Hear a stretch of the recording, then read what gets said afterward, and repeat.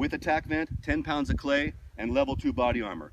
We're gonna shoot with two calibers, 45 and nine millimeter.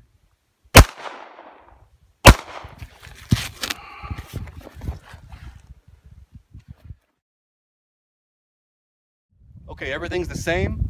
10 pounds of clay, level two armor. Same ball ammo, 45 first.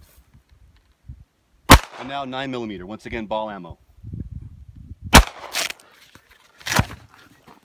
Okay, a lot bigger cratering, massive tearing of the shirt. This is without the TacVent.